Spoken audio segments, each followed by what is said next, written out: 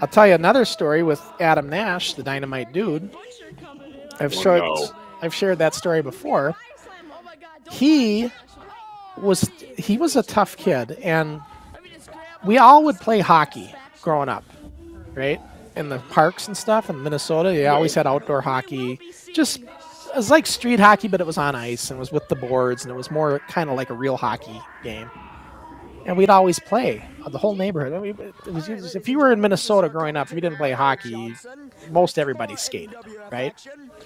Yep. myself included. But this is one day Adam Nash, the dynamite dude, was out at the playing hockey one night, and you're in, he's in the warming house because they had little warming houses where you'd all go in and warm up all the other kids. And the kids started getting on his case about the show, giving him a hard time about it. And Adam's like, and they were saying fake wrestling. And Adam said, oh, "You think it's fake? Let me show you how fake it is." Because Adam, Adam, if you knew Adam for real, he would not take anything from anybody and he'd get offended like that. And so he was offended. So he said, "I'm going to show you how fake it is. Let me demonstrate." And he got a kid to lay down, and he wrapped the figure four leg lock on this kid, and he reefed on it because he wanted him to feel it. And the kid was screaming in pain. Adam told me the story. He was screaming in pain, and he added out, and I, he said his knee was hurt and he's limping. I said, Adam, don't ever do that off the show again. It's like, why? They were giving me crap. I said, I don't care. Let it go in one ear and out the other.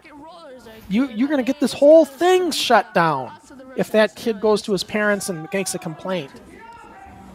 You know? I really got on him. I really got on him for that. I, I said, Adam, I get it. They're giving you a hard time. I get it. But man, you can't demonstrate the moves outside the show like that.